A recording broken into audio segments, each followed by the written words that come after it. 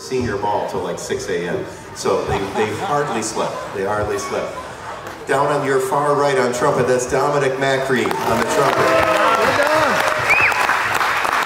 And then on the other side, Brian O'Connor. Brian O'Connor on trumpet as well. In the middle of our trombone section, our lead trombone player for several years, Eric Mountain on trombone. On tenor saxophone, you heard several solos today. Michael Bailey on tenor saxophone. On the bass, that's Anna Berniger on bass. And Connor Orcutt on drum set.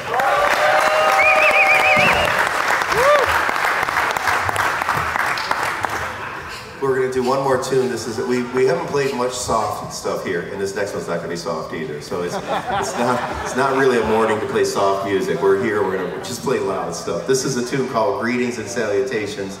We'll conclude with this, and uh, hopefully you'll, you'll stick around and hear other music. There is a pretty good band here at four o'clock that I can tell you about because I'm in it. And that's at four o'clock today. So at least come back then, and you, you can stay dry in this stage. And there's a bunch of music between now and then too, so it's all good. But I know the band at four is going to be good. I know that's going to be a good group. So here is greetings and salutations. Well, they, they better be. They better be good. They better be good.